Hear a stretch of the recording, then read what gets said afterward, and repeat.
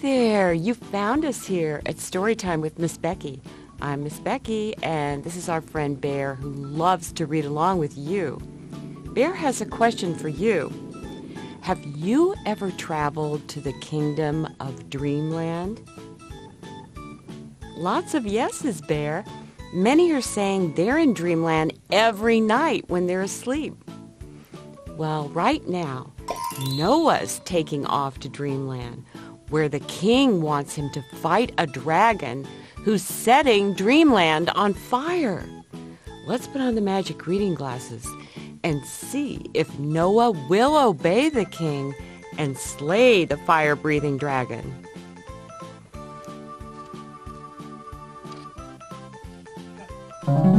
Noah in Dreamland by Alana George.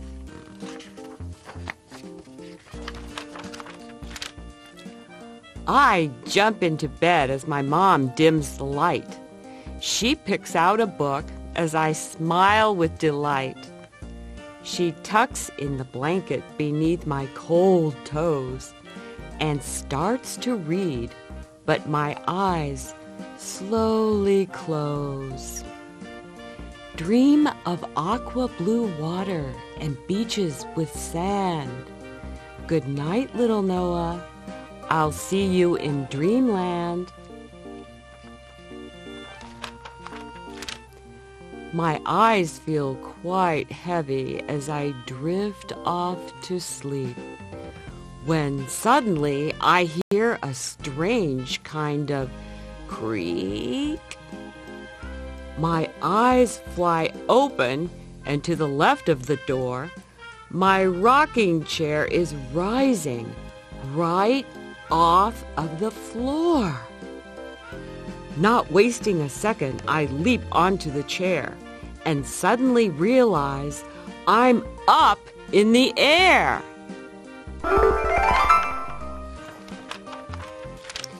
Take me to dreamland, I order out loud and fly out of my window and straight through a cloud. Past shimmering stars and beyond the white moon. When suddenly my chair and I land with a boom. And before I have time to look around, a funny old man in a red robe and crown says, Noah, young man, we've been waiting for you. In fact, your visit is long overdue. We need your help. Dreamland has some trouble. Follow me, Noah. Hop skip on the double.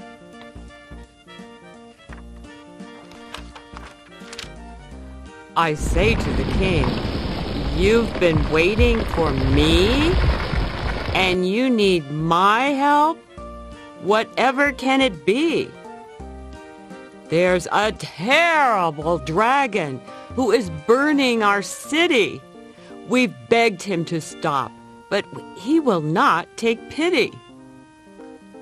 I loudly gasp, But what can I do? You will slay the dragon. We're counting on you.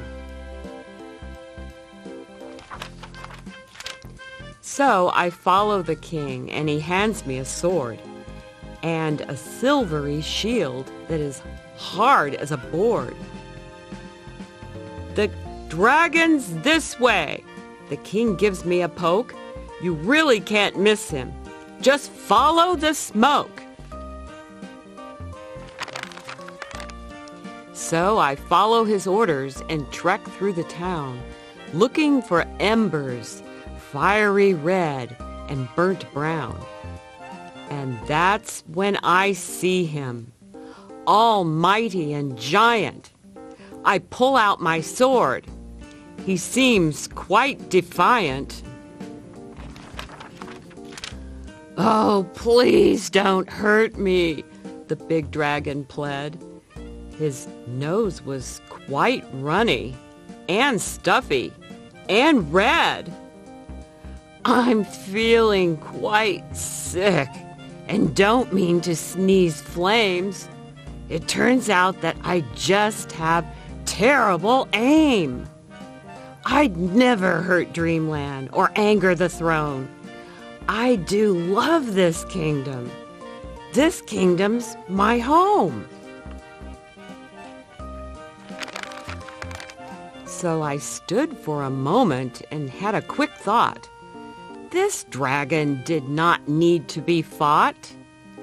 I ran to the castle and ordered some tea and a big bowl of soup, super hot and spicy. I brought it straight over to the poor sickly dragon, who gulped it right down as fast as you can imagine. I did not mean to scare you. I felt awfully blue. It appears, said the dragon, that I just had the flu.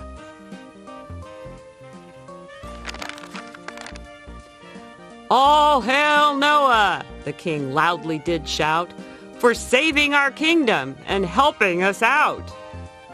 Then the king took my hand and gave me his crown. To the new king of Dreamland, you saved the whole town. I smiled and thanked him, but 'twas time to go home, and I asked the dragon to watch over the throne. Will I see you tomorrow? I heard the dragon say. Yes, and got in my rocking chair and flew far away. Now safely back home with the crown on my chair, I snuggled in bed with my soft teddy bear and dreamt of aqua blue water and beaches with sand and the exciting adventure I had in dreamland. Bear's wondering, how did Noah find out the dragon didn't mean to burn dreamland? Hmm. Many are saying Noah listened to the dragon explain his story. So Bear's asking, what do you think kings should do first? Listen to the whole story or fight? Most say listen. Well, what do you think King Noah will do? Hmm. Well, Bear's hoping you come back soon for more adventures in getting the whole story. Bye for now. Please subscribe.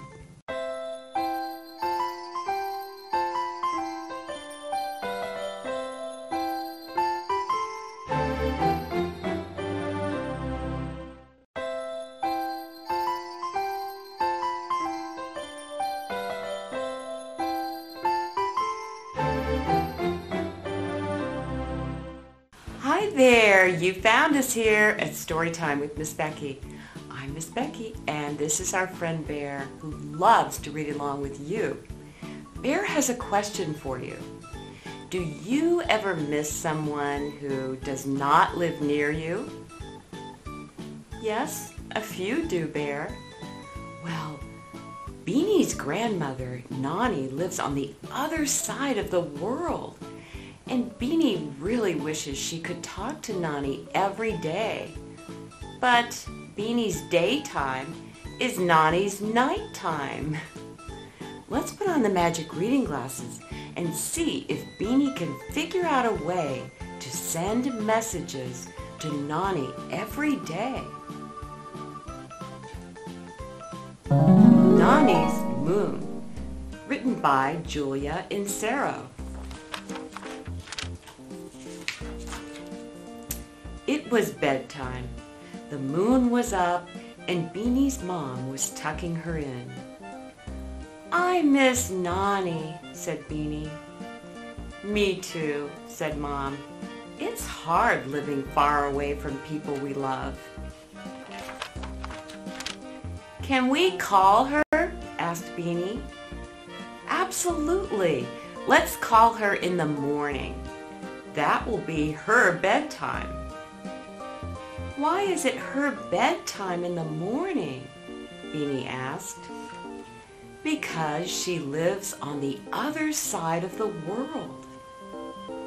So when the sun is rising and waking us up, the moon is coming up for Nani.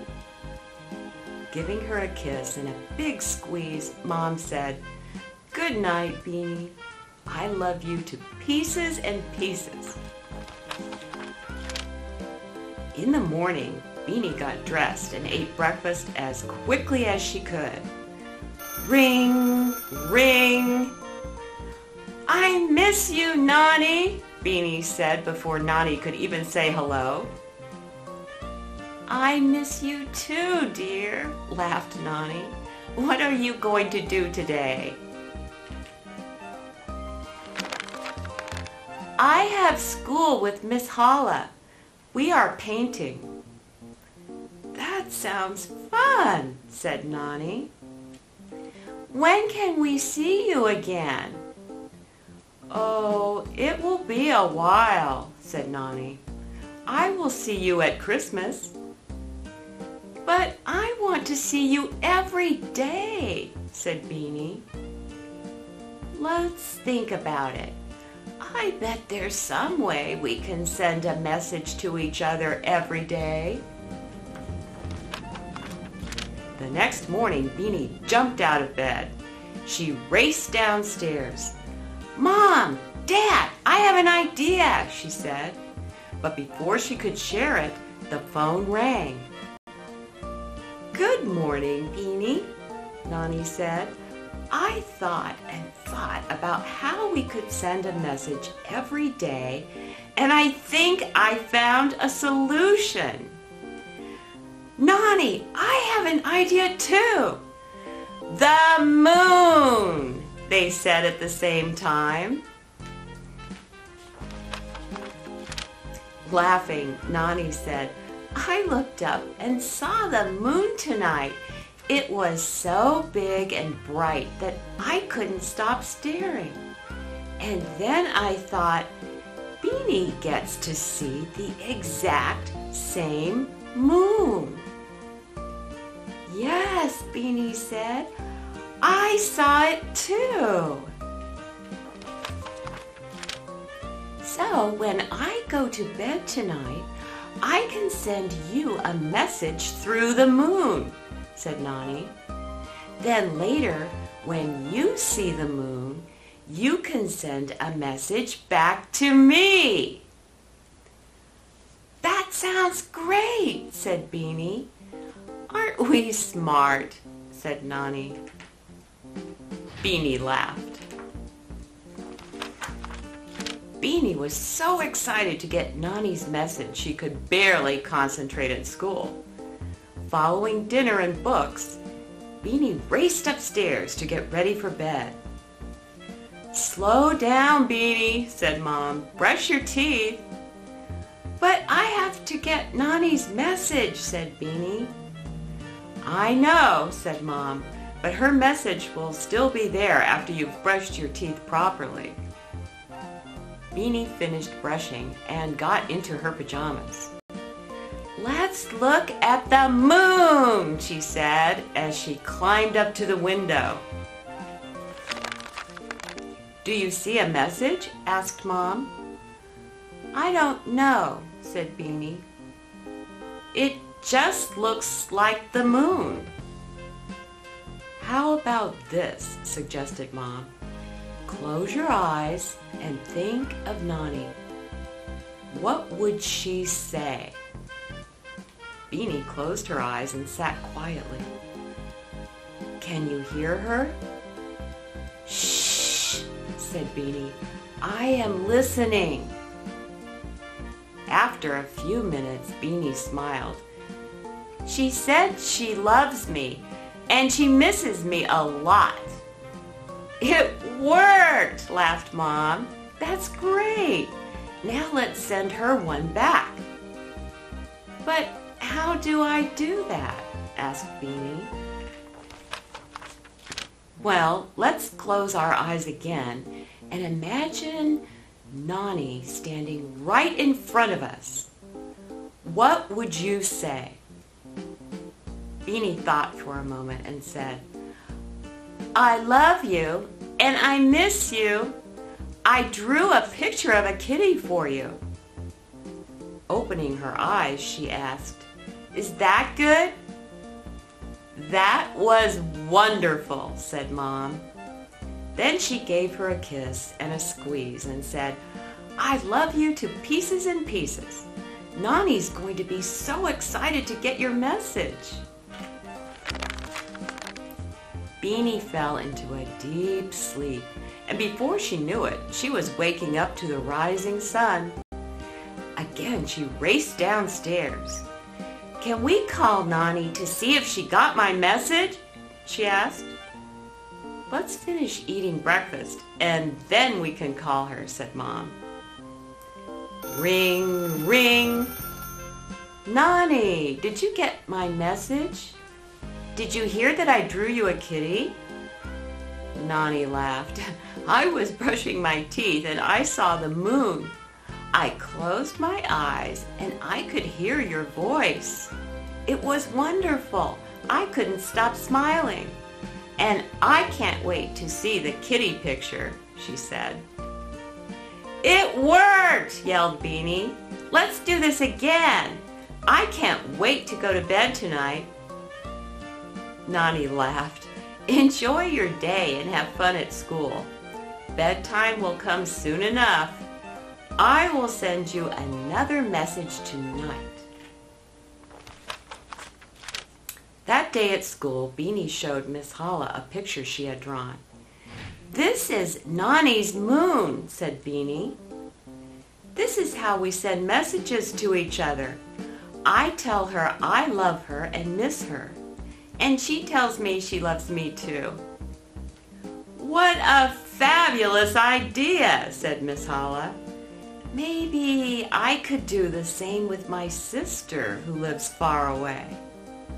Oh, yes, said Beanie. All you have to do is look at the moon and close your eyes and talk. When your sister sees the moon, if she listens very closely, she will hear you. After dinner that night, Beanie chose three books and Daddy read all of them. Beanie then went to get ready for bed. Mom, Dad, Come quick! yelled Beanie. Mom ran into the room. What's wrong? It's Nani's moon. It's gone! Beanie began to cry.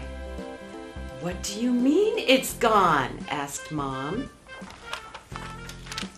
Look, said Beanie, it's not in the sky. Mom looked out the window. It was a cloudy night and there were no stars and no moon to be seen. What are we going to do? How can I send her a message? Mom smiled. Even though you can't see it, the moon is always there. Tonight it's hiding behind some clouds, but you can still send your message, and I bet you will hear Nani's as well. Beanie didn't think her mom was telling the truth, but she was willing to give it a try. Sit here with me and let's see if we can hear Nani. Beanie climbed up into Mom's lap and sat quietly. Do you hear anything? Mom whispered. No, said Beanie. How about now? Yes, I can hear her. She says she loves me and she loved talking to us on the phone. And she said her cat Pookie did something funny. That's wonderful, said Mom. See how amazing the moon is? It's just like Nani's love. Even if you can't see it every day, it will always be with you. That makes me very happy. Me too, said Mom, and she gave Beanie an extra tight squeeze.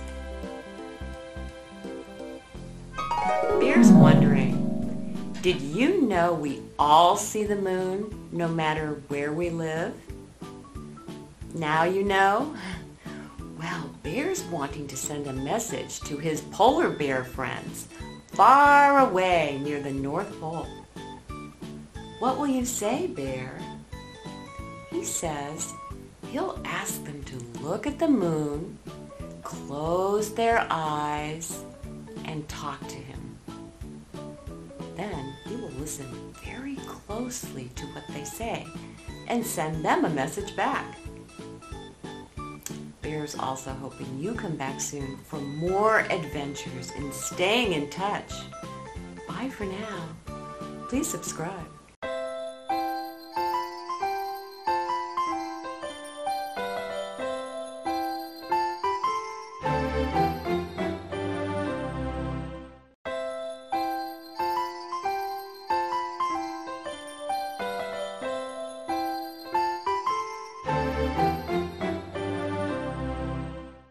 Hi there! You found us here at Storytime with Miss Becky. I'm Miss Becky, and this is our friend Bear, who loves to read along with you. Bear has a question for you. Have you ever wanted to go out in the moonlight on a winter adventure? Many brave yeses, Bear. Well, Bear's asking if you would walk quietly along with him into the snowy woods to find a great horned owl. Let's put on the magic reading glasses and go on an owling adventure. Sometimes you find one, sometimes you don't. Ready? Let's go. Owl Moon by Jane Yolen.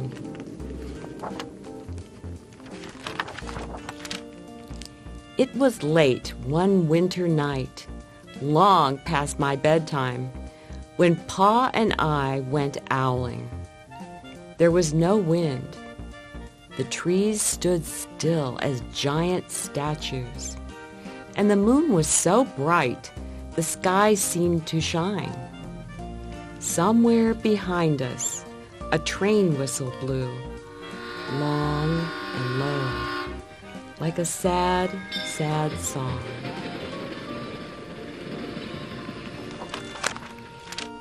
I could hear it through the woolen cap Pa had pulled down over my ears. A farm dog answered the train, and then a second dog joined in. They sang out, trains and dogs, for a real long time. And when their voices faded away, it was as quiet as a dream. We walked on toward the woods, Pa and I.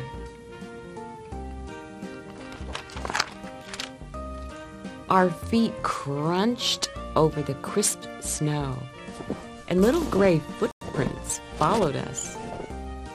Pa made a long shadow but mine was short and round. I had to run after him every now and then to keep up. And my short, round shadow bumped after me. But I never called out. If you go owling, you have to be quiet. That's what Pa always says. I had been waiting to go owling with Pa for a long, long time. We reached the line of pine trees, black and pointy against the sky, and Pa held up his hand. I stopped right where I was and waited. He looked up as if searching the stars, as if reading a map up there. The moon made his face into a silver mask. Then he called, The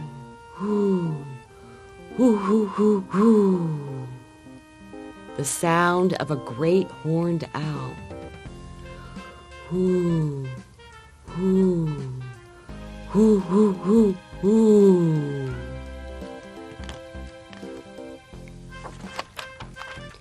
Again he called out, and then again. After each call, he was silent, and for a moment we both listened. But there was no answer. Pa shrugged, and I shrugged.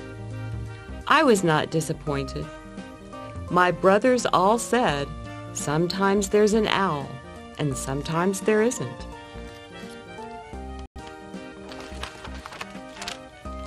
We walked on. I could feel the cold as if someone's icy hand was palmed down on my back. And my nose and the tops of my cheeks felt cold and hot at the same time. But I never said a word. If you go owling, you have to be quiet and make your own heat.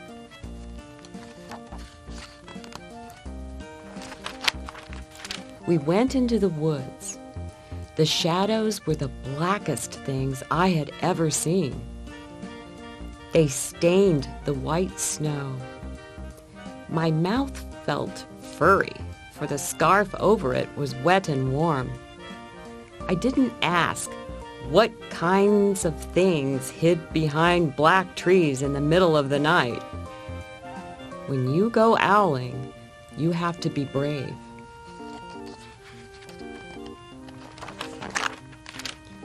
Then we came to a clearing in the dark woods. The moon was high above us. It seemed to fit exactly over the center of the clearing, and the snow below it was whiter than the milk in a cereal bowl.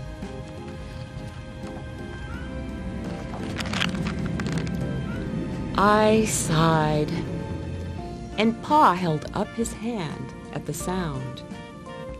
I put my mittens over the scarf, over my mouth, and listened hard. And then Pa called, Hoo, hoo, hoo, hoo, hoo, hoo, hoo, hoo, hoo, hoo, hoo, hoo. I listened and looked so hard my ears hurt and my eyes got cloudy with the cold. Pa raised his face to call out again, but before he could open his mouth, an echo came threading its way through the trees. Hoo, hoo, hoo, hoo, hoo, hoo. Pa almost smiled. Then he called back. Hoo, hoo, hoo, hoo, hoo, hoo. Just as if he and the owl were talking about supper, or about the woods, or the moon, or the cold. I took my mitten off the scarf, off my mouth, and I almost smiled too.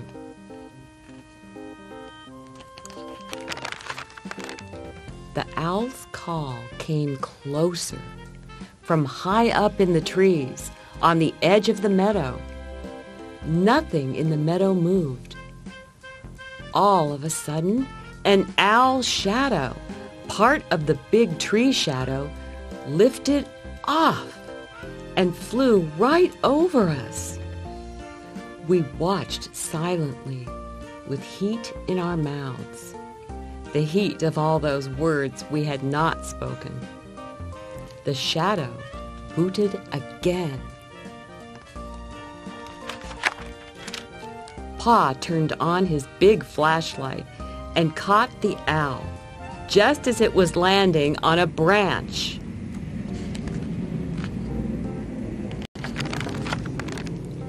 For one minute, three minutes, maybe even a hundred minutes, we stared at one another.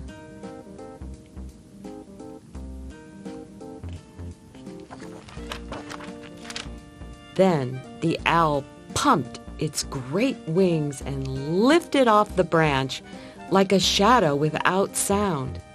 It flew back into the forest. Time to go home, Pa said to me. I knew then I could talk. I could even laugh out loud. But I was a shadow as we walked home. When you go owling, you don't need words, or warm, or anything but hope. That's what Pa says. The kind of hope that flies on silent wings under a shining owl moon. Bear's wondering, were you hoping you'd see a great horned owl? Yes? Did you ever think you might stop hoping and turn around? Sometimes. Well, Bear wonders why you kept going. Hmm. Many say they wanted to find one so much, Bear. Well, Bear's glad you never gave up hope because we finally found the owl. Bear's also hoping you come back soon for more adventures in staying hopeful. Bye for now.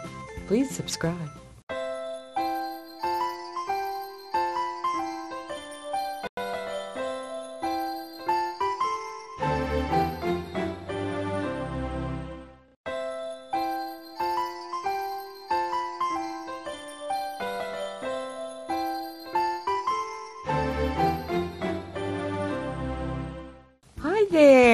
Found us here at Storytime with Miss Becky. I'm Miss Becky, and this is our friend Bear who loves to read along with you. Bear has a question for you. Have you ever wished you could get your body to do what you see others doing? Lots of yeses, Bear. Some say they wish they could balance on a bike or kick a ball really far. Well, pint-sized penguin Pete is watching others and trying very hard to do amazing things too. Let's put on the magic reading glasses and see what Pete will do. Penguin Pete by Marcus Pfister. Once upon a time, there was a colony of penguins living happily together in the Antarctic. The youngest penguin was called Pete. He was so small that the other penguins called him pint-sized Pete. Don't worry, said Pete's mother. All penguins are pint-sized when they're young. One day, you'll grow bigger, and then you'll be able to swim in the sea with the rest of us. Thought the grown-up penguins looked beautiful swimming in the sea. He wanted to grow up fast so he could join them.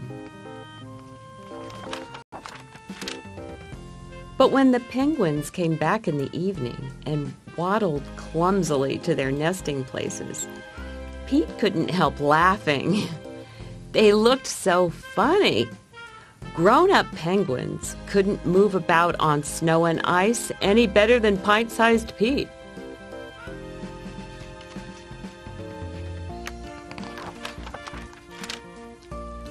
I'll show them a penguin can move gracefully on land, said Pete to himself. And he began practicing flipper skating every day. It was great fun. He slid about all over the ice and usually ended up on the ground with a thump. Now and then, some of the other penguins who were Pete's friends stayed home with him. Then they had a wonderful time playing hide and seek, making snow penguins, and having snowball fights. The time flew by. One day a flock of birds landed on the patch of ice where the penguins lived, calling and screeching and flapping their wings. Pete marched proudly through the rows of birds. How tiny they were! He felt very big and grown up. Hello, said one of the little birds. What kind of funny bird are you? I'm a penguin, he said. My name's Pete. Pleased to meet you, Pete, said the little bird. My name's Steve. Let's have a flying race. Don't be silly, said Pete. I can't fly. Then it's time you learned, said Steve. All you have to do is flap your wings hard. Just watch me. It's quite easy. Pete tried and tried to fly, but he couldn't. He could only jump a little way into the air.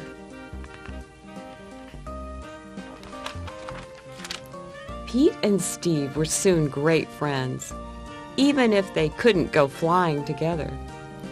But Pete wanted nothing better than to fly with his friend. Although he tried to take off over and over again, his flights always ended in a crash landing.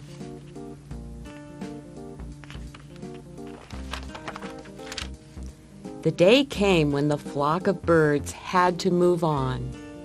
There was nothing Steve could do about it. As the two friends said goodbye, big penguin tears trickled down Pete's cheeks. Never mind, Pete, Steve called back as he flew away. I'm sure we'll be landing on this patch of ice again next year. Pete was very sad but his mother knew how to cheer him up. The next morning, he was allowed to go swimming in the sea for the first time. He was very excited, though the thought of diving into the water head first was rather scary. But Pete found two ledges of ice at the water's edge. He climbed cautiously down the ledges and slid backwards into the sea. I'll do a proper dive tomorrow, thought Pete.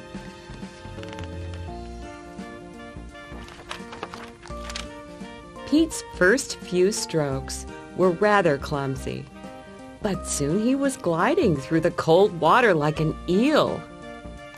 He could even do a backstroke. He came in last in most of the swimming races, and he lost when the Penguins played games. But Pete was a good loser.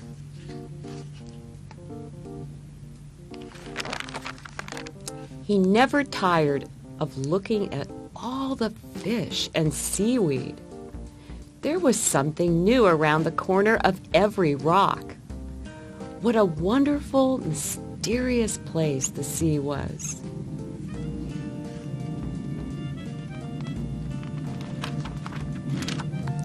The moon had risen by the time Pete waddled happily back to his mother. He felt far too tired to tell her about all his adventures, but that could wait until tomorrow.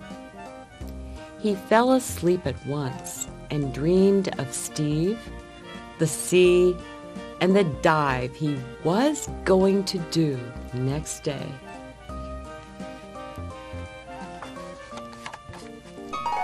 Bear's wondering, do you think Pete will ever be able to use his flippers to fly?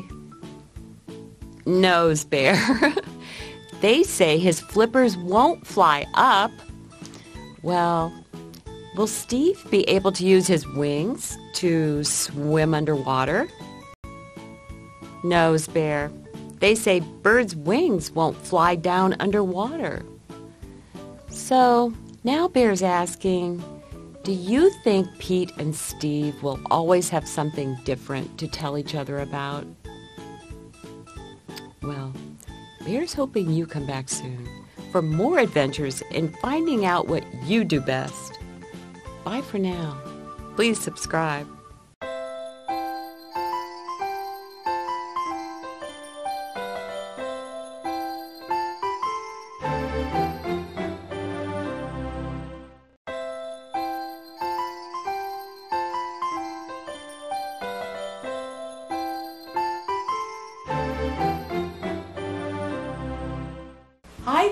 You found us here at Storytime with Miss Becky. I'm Miss Becky, and this is our friend Bear, who loves to read along with you. Bear has a question for you. Do you think Pete the cat will have a lot of fun when he goes to the library? Some yeses and some maybes, Bear. Well, this is Pete's first time checking out the library. Let's put on the magic reading glasses and see all the places Pete sees and what he discovers. Pete the Cat Checks Out the Library by James Dean. Pete's mom is taking him to the library for the first time. The librarian gives Pete his very own library card. Cool, says Pete. The librarian smiles. Time for the tour. The librarian takes Pete through the library. There is a big desk where people wait to check out books. Pete sees some of his friends reading at a long table. It's very peaceful and quiet. How relaxing. The librarian takes Pete to her favorite room. There are lots of Pete-sized chairs and tables and shelves. There are books of every shape, size, and color. What do I do now? Pete asks. Now you read a book, the librarian says. Which book should I read? asked Pete. You can read any book you like, says the librarian. Pete looks around. There are so many books. Pete picks up a book all about airplanes and jets. He reads it and pretends he is a stunt pilot. He flies a super fast jet and does loop-the-loops and spirals high in the sky. Then Pete finds a book with dragons, wizards, and unicorns on the cover. He reads it and imagines that he is a powerful wizard using magic spells and a special wand to defend his castle against a fire-breathing dragon. Next, Pete opens a book about spiders and insects. He reads it and imagines that he is a scientist studying all types of critters in the wild. He has to be very still to study some critters and very fast to study others. Then Pete chooses a book with all sorts of scary monsters on the cover. It is a book of fairy tales. Pete reads it and pretends that he is in a dark, spooky forest trying to outsmart a big, bad wolf. Pete puts that book back on the shelf. It is too scary. Pete opens up a book about the pyramids in Egypt. He reads it and pretends that he is an explorer riding a camel across the desert and climbing to the top of a giant pyramid.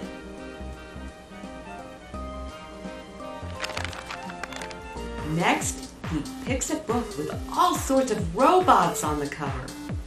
He reads it and imagines that he is a robot at a robot dance party. His arms and legs make whizzing sounds when he moves. When Robot Pete speaks, he says, bleep, bloop, bleep. Next, Pete picks up a book about superheroes. He reads it and makes believe that he is a superhero. He flies around the city in a colorful cape, chasing bad guys and saving the day. Then Pete spots a big book about the ocean and all its creatures. He reads it and imagines that he is a scientist in a submarine deep in the Atlantic Ocean looking for whales, squids, and sharks.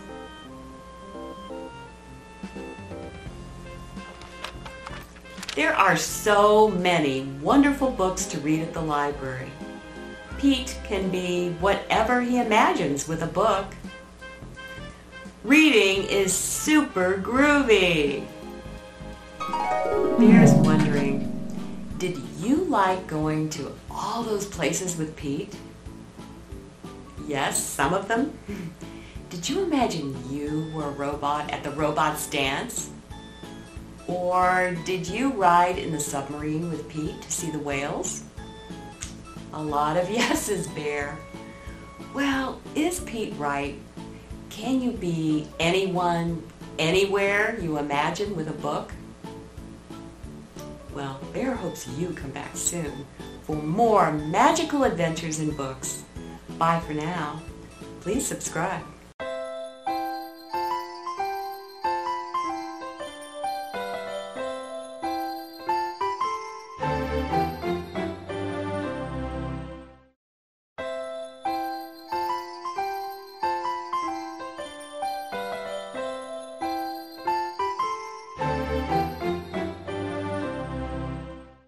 Hi there! You found us here at Story Time with Miss Becky. I'm Miss Becky, and this is our friend Bear, who loves to read along with you. Bear has a question for you. Have you ever gone camping and wondered if Bigfoot might be in the woods? Many are asking, who is Bigfoot Bear? Well, Pete the cat is wondering who Bigfoot is too. Let's put on the magic reading glasses and see who Bigfoot is and if he's nearby. Pete the Cat Goes Camping by James Dean. Pete is excited to go camping. This is his first time. Don't forget your sleeping bag, says Dad. Or your hiking boots, Mom says. The campsite is deep in the woods. Mom and Dad set up the tent. Pete and Bob help collect sticks so they can make a fire later.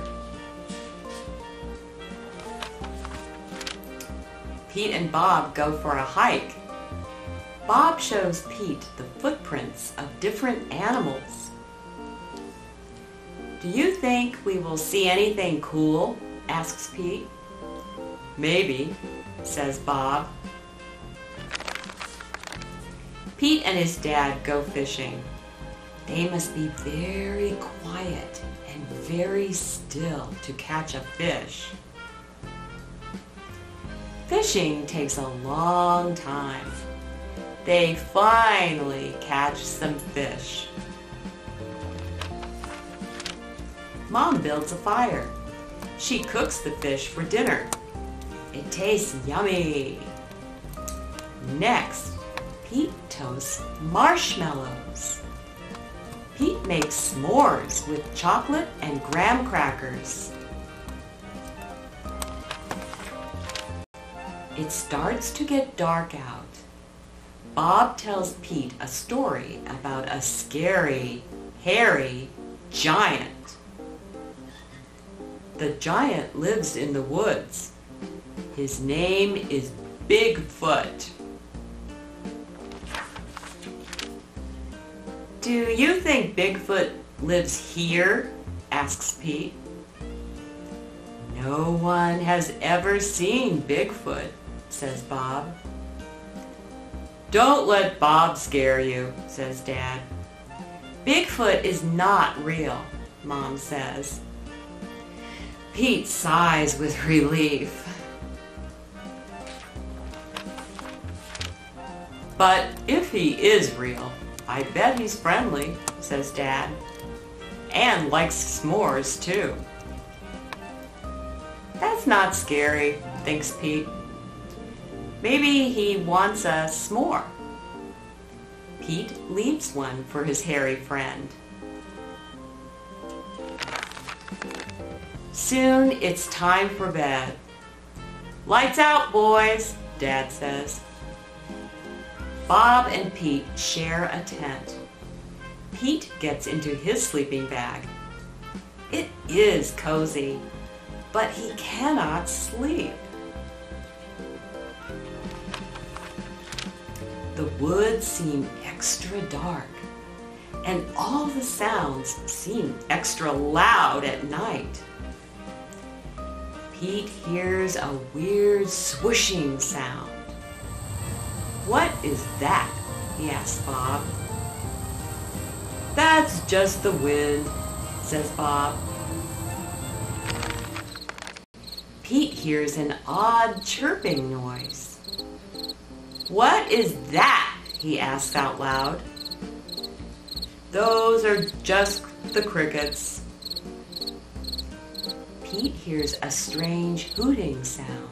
Oh, oh, oh, what is that? He wonders. That's just an owl. Pete thinks of his friend Owl. Pete hears a loud snapping sound. Crack! What is that? he wonders. But Bob is already fast asleep. Pete listens carefully. Crack! Is it Bigfoot? Pete peeks outside. It is too dark to see anything. When Pete wakes up, he checks the spot where he left the s'more for Bigfoot. The s'more is gone. There is a note. It says, Thanks for the treat. XOXO. Pete shows his family. Wow, I knew Bigfoot was real, says Bob. Pete knows Bigfoot is not scary. Just because he looks different does not mean he is scary. He even likes s'mores too. Do you like marshmallowy, chocolatey s'mores? Many yeses, but some haven't tried s'mores yet, Bear. Well, if Bigfoot had not eaten that s'more, Bear says he would have been happy to chomp it down and ask for some more. Bear also hopes you come back soon for more outdoor adventures. Bye for now. Please subscribe.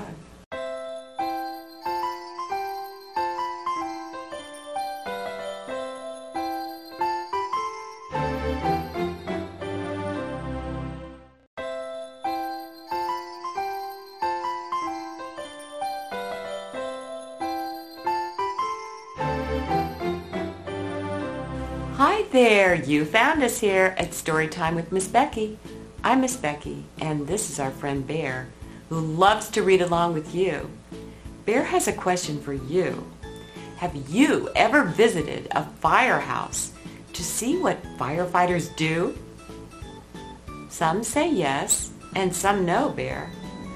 Well, firefighter Pete the Cat is asking if you'd come along with his class to the Cat Firehouse.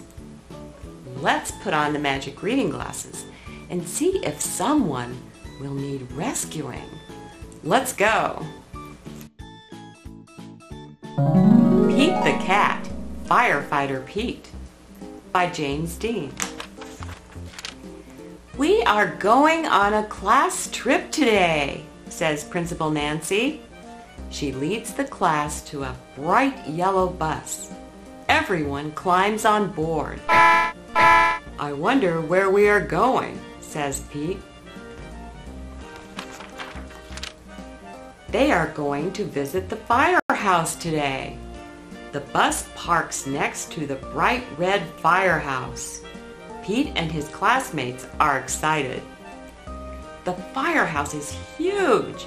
It's so big it can hold two long red fire trucks and all of the firefighters' equipment. The firefighters show the kids around. They give everyone a turn to ring the old brass fire bell outside the firehouse. Then all the kids take turns sliding down the firefighter's pole. Whee! Callie yells as she glides down. The firefighters allow the kids to try on their gear. Firefighters wear a lot of equipment. First, Pete puts on the heavy black overalls. Then he steps into the tall black boots. A firefighter helps Pete put on the heavy yellow jacket. Finally, they place a hard black helmet on Pete's head. All this gear is very heavy. Pete can barely move. The firefighters allow the kids to explore one of the fire trucks. Callie sits in the driver's seat. She presses the horn. It's so loud that all the kids cover their ears. Then Pete turns on the sirens and lights. The sirens blare. Woo-wee, woo-wee. The lights flash red and yellow. Suddenly, a loud bell rings in the firehouse. Oh no! It's the fire alarm. There's a fire in town. Gear up, Pete! The firefighters scramble into their gear very quickly. Pete puts on his gear too. They all climb aboard the fire truck and turn on the siren and lights. Firefighter Pete and the firefighters are on their way.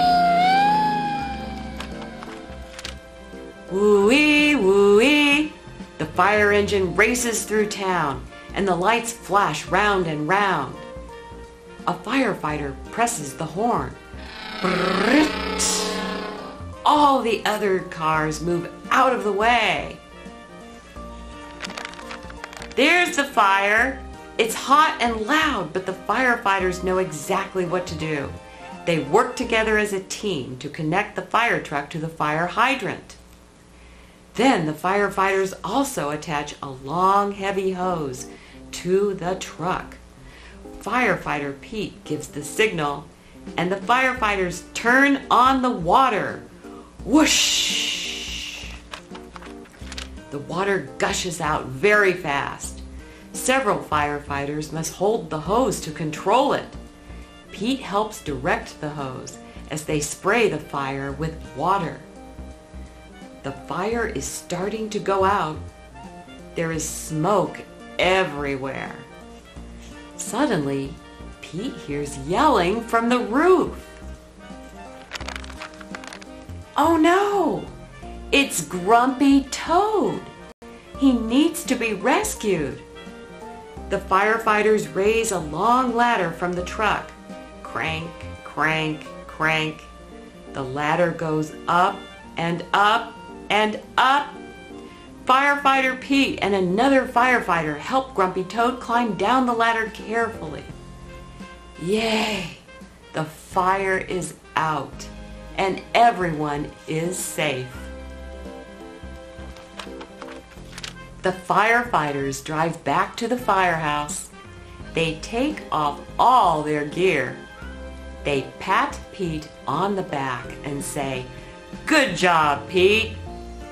Firefighter Pete helped save the day.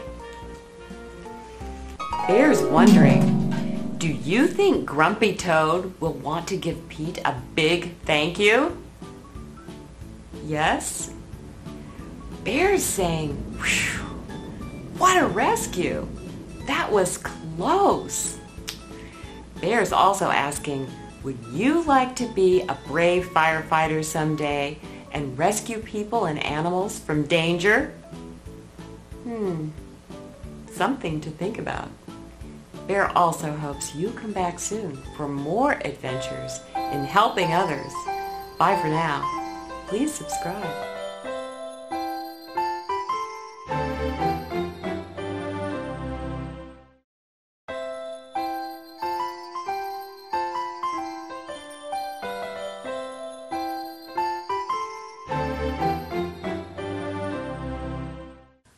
There! You found us here at Storytime with Miss Becky. I'm Miss Becky, and this is our friend Bear who loves to read along with you. Bear has a question for you. Do you ever wish you could build a tree house up high in your favorite tree? Lots of yeses, Bear. Hmm, would you invite your friends to play in it? Yes? Well, Pete the cat is building a treehouse right now, and he's inviting all of his friends over.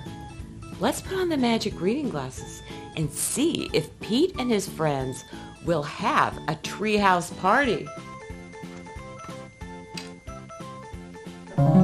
Pete the Cat and the Tip Top Treehouse by James Dean. Pete the cat has built a tree house. He calls his friends. I just built a tree house, he says. Come over to play. Pete's friends show up. This is great, say his friends. But it is a little small. You are right, says Pete. It is too small. I will fix that.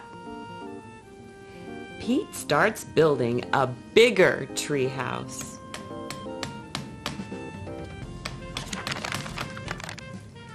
Do you want some help? asks Callie. Sure, says Pete. Callie carries up more wood.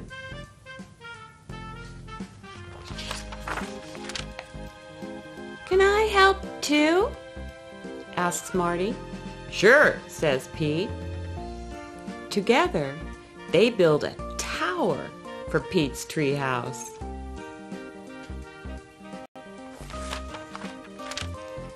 Let's have a treehouse party, says Marty.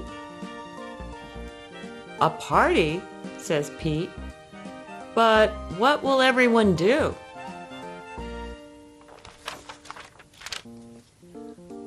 I can help with that, says Emma. This is great, says Pete. Let's do it.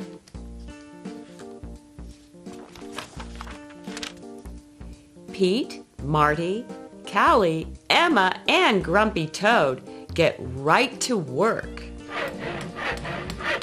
They build an arcade.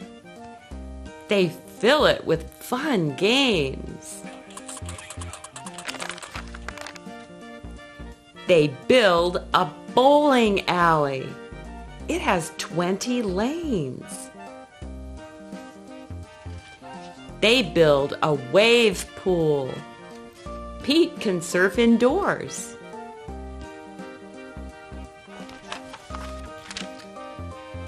They build a movie theater and a skate park and a climbing wall and an ice rink.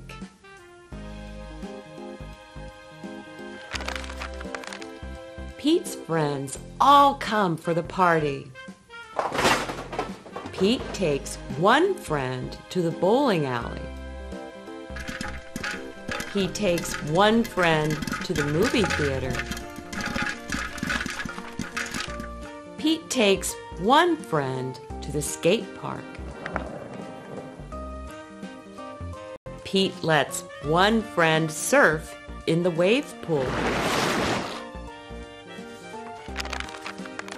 Is everyone here? asks Pete. Yeah, but we're all alone, his friends say. We came to play with each other. Oh, says Pete. Everyone, meet down at the jungle gym. Everyone climbs down. This tree house is amazing, say his friends. Thanks, says Pete. I'm so glad it brought us all together. Bear's wondering, do you think Pete and his friends had fun planning amazing things to build? Yes. Do you also think they all enjoyed working hard? Yes. Bear's also asking, do you think good friends can always find ways to have fun? Well, Bear hopes you come back soon for more fun adventures in Friends, bringing friends together. Bye for now. Please subscribe.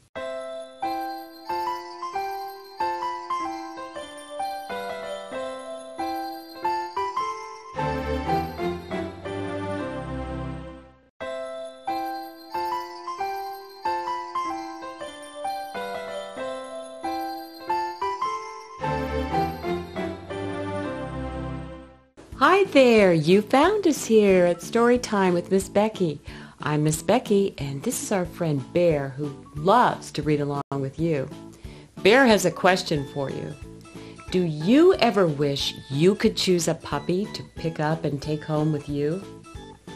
Wow, lots of yeses, Bear. Well, today is Puppy Pickup Day for this little Labradoodle. He can't wait to meet his new family. Let's put on the magic reading glasses and see if he is the kind of puppy you would want to take home. Puppy Pickup Day by April Cox. Today is the day. Wake up! Wake up! Today is the day, barked the littlest pup. Seven more puppies jumped from their beds as the little one yelled, Wake up, sleepyheads! Primping and fussing with hairbrush and comb, today all the puppies will get a new home. So eager and happy they ran off to play, excited and ready for their big day. When two of the doodles played tug with a rope, for the littlest pup, there wasn't much hope. When the others could jump, catching balls just for fun, the littlest pup couldn't catch even one. You're too small, the other doodles cried, as with a big thump, he fell off the slide. He sighed and he plopped himself under a tree, saw rabbits, and said, Hey, you're little like me. Joining the bunnies, he ran and he raced. He wasn't too small to play tag and be chased. Under bushes and trees, over bridges they crossed. Then little pup yelped, Oh no, I am lost. I must get back. I cannot stay. Today is puppy pickup day. In the meantime, some families began to arrive. They each picked up doodles, and then there were five. Aunt Nola Doodle said goodbye to each one as she patted their heads a few times, just for fun. Hello, said the puppy to Evie the cat. I have run a long way. How do I get back? Through the tall grass, she said, over the hill find a small stream and a bullfrog named Bill. He walked by the water looking for Bill, who was chasing a fly and wouldn't stand still. I must get back. I cannot stay. Today is puppy pickup day. While the pup was wondering what he should do, three more were picked up, and then there were two. With grandkids excited who just couldn't wait, we drove to meet up with our fluffy playmate. Grandpa and Carrie were singing a song, with Jackson and me clapping along. The pup saw his friend Abra as she came into sight, and he knew everything would be all right. I must get back. I cannot stay. Today is puppy pickup day. Then they heard giggles from kittens at play. Join us, they all said. It's a beautiful day. I must get back. I cannot stay. Today is puppy pickup day. Follow us to a shortcut, the pup's new friend said. He tried to hold tight, but fell right on his head. The littlest doodle ran back toward the gate. He squeezed under the fence, afraid he was late. I must get back. I cannot stay. Today is puppy pickup day. After a long and bumpy drive, his very own family was last to arrive. Could this new family love a clumsy pup whose legs had trouble keeping up? Who needed help after too many falls, failed at tug, and couldn't catch balls? He worried his family wouldn't like him at all but he gave them a smile and tried to stand tall. He was dirty and scared and just wanted to hide. But he took a deep breath and he headed outside. Then Bella saw him. Look, here he is. Have you ever seen a face sweeter than his? All dirty, said Carrie, making a face. But Nola knew how to remove every trace. Into the tub our puppy was plunged. Off came the grass and the mud with a sponge. As the dirt and the grime were then washed from his eyes, he clearly saw now that they loved his small size. Puppy pickup day at last was done, with a final pat from Nola. Make us proud, little one. Welcome to the family. It's been quite a day the first of many adventures coming your way. Bear's wondering, what do you think Brady's family liked about Brady? Hmm. Do you think his family liked the way Brady walked up to them, stood tall, and gave them a smile? Yes? Well, what did you like about Brady? Some are saying they liked the way Brady made friends with rabbits and kittens. Bear, what did you like? Bear liked the way Brady didn't give up on himself and kept trying to make new friends. Bear also hopes you come back soon for more adventures in trying to be friendly. Bye for now. Please subscribe.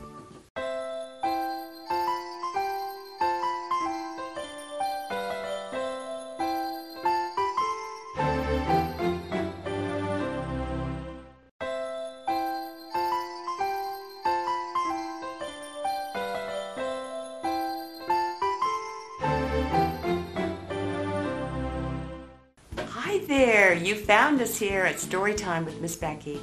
I'm Miss Becky, and this is our friend Bear who loves to read along with you. Bear has a question for you. Have you ever heard of Raggedy Ann and Andy? A few have heard of their adventures, Bear. Well, Raggedy Ann and Andy just discovered a round white pebble, and they're asking each other if it could be a magic wishing pebble. Let's put on the magic reading glasses and see if it is magic and if anyone else might want it too.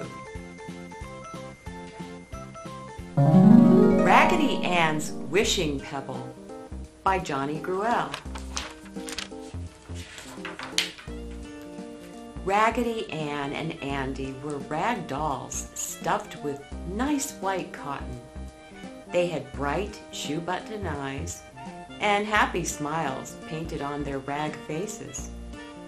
One day they were poking about by the Looking Glass Brook when Raggedy Andy held up a round white pebble.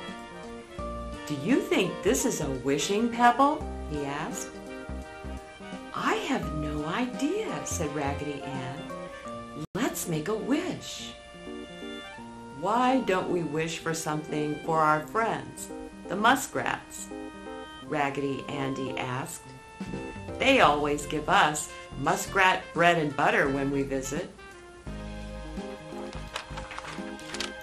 Raggedy Ann and Andy both squeezed the pebble as hard as they could, and Raggedy Ann said, I wish the muskrats had a magic soda water fountain right in their living room. They agreed that it was a good wish, and then they went to sleep in the sun. The dolls were awakened a little later by Freddie Field Mouse. There's a magic soda water fountain in the muskrat's home, he exclaimed. They're inviting everyone for ice cream sodas. He scampered off. That means the wishing pebble was real, Raggedy Ann said. Let's go see the fountain. She buried the pebble in the sand before heading off to the muskrats. Raggedy Ann and Andy found a crowd of animals at the muskrat's home, all drinking sodas. When the dolls told them about the magic wishing pebble, Mr. and Mrs. Muskrat thanked them for their kindness. Mrs. Muskrat snipped a hole in the center of each doll's mouth so they could try the sodas for themselves. Whee! Raggedy Ann cried after she and Andy drank 15 ice cream sodas. I don't believe I can drink another one. Let's go find the wishing pebble that I buried in the sand. That's a fine idea, cried Mrs. Muskrat. She and the other animals and the dolls ran to the brook. They hunted in the loose sand on the bank but they couldn't find the wishing pebble. Mr. Muskrat had stayed home to wash the soda glasses, but now he ran to join them. It's gone, he cried. The magic fountain just disappeared. Of course it's gone, a voice sounded from across the brook.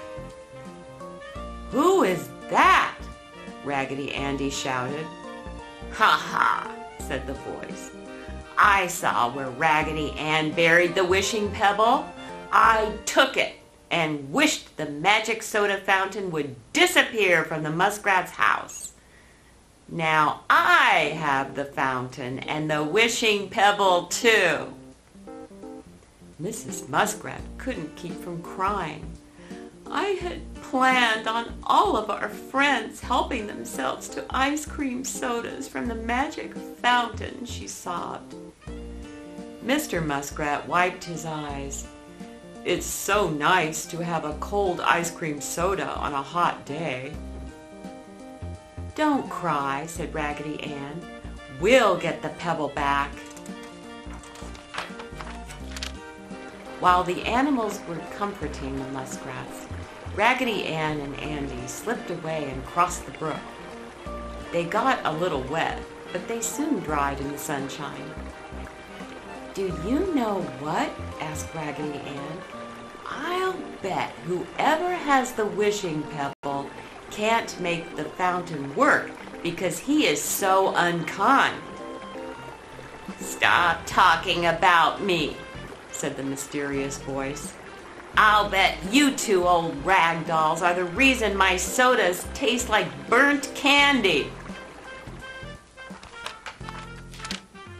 Raggedy Ann and Andy ignored the voice and walked along the bank, looking for clues to the missing pebble. Just as they passed under a large tree, a big checkered tablecloth fell down on top of their heads. Before they could untangle themselves, their feet were tied together by a little man with thin legs and a long nose. And when he spoke, they recognized the mysterious voice. It was Minky, who was known by everyone for his tricks and pranks. Ha, said Minky. I'm not letting you go until you tell me how to use the wishing pebble. I need a new magic fountain with soda that tastes sweet. Selfish man, Raggedy Ann laughed at Minky. The wishing pebble only brings good things when you wish for something nice for others. Suddenly, Minky let out a howl and fell onto the grass. Something is biting me! Tears streamed down his face as he got to his feet and ran away. There! Clifton Crawdad appeared suddenly, rubbing his big claws together. Minky filled my doorway with mud one day, and it took me a long time to clean it out. Now I've pinched him with my claws, so we're even. He quickly untied the dolls. Thank you, said Raggedy Andy. We'd better find Minky. It's no trouble, Clifton said, and burrowed back into his mud house. Raggedy Ann and Andy crossed the brook again and ran into Winnie Woodchuck. What happened? she asked. You're soaking wet. Come inside this minute. She hustled Raggedy Ann and Andy inside their home, and Walter Woodchuck made them feel comfortable in front of the crackly fire. They sat and drank licorice tea and ate woodchuck cookies, which are made from twigs and hazelnuts. Suddenly the door burst open and Minky stopped inside. Give me those cookies, he shouted. Now you march right out, Mr. Minky, said Winnie Woodchuck. You are very rude. But before he could leave, Raggedy Andy said, That pebble belongs to us. He grabbed Minky by his jacket. Stop, Andy, cried Raggedy Ann. Now you're being mean.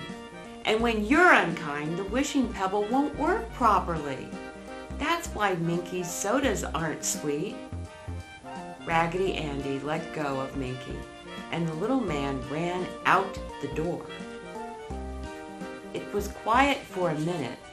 Then Raggedy Ann's shoe button eyes twinkled, and she whispered, I'll bet Minky is listening outside the window.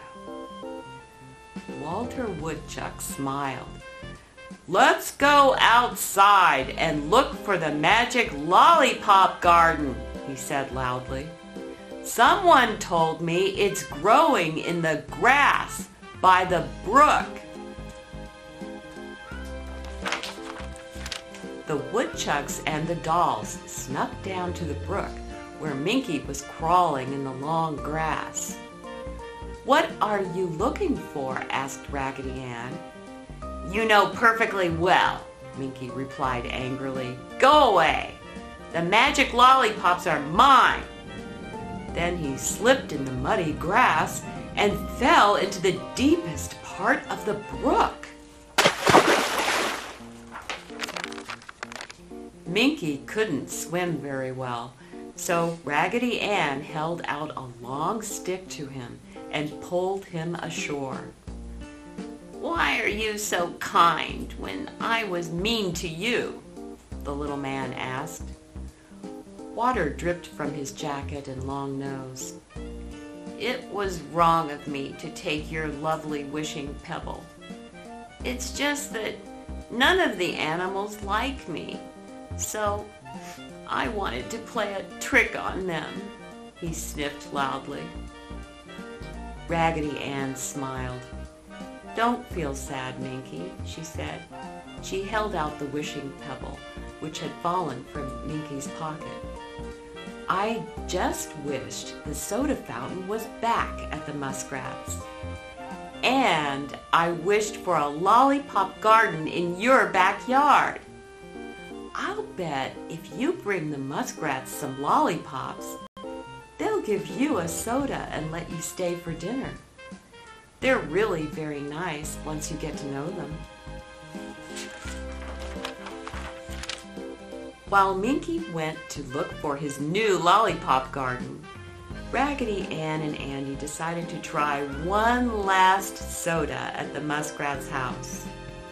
On their way home, they passed Minky digging in his garden. They waved goodbye and then left to join their friends in the nursery.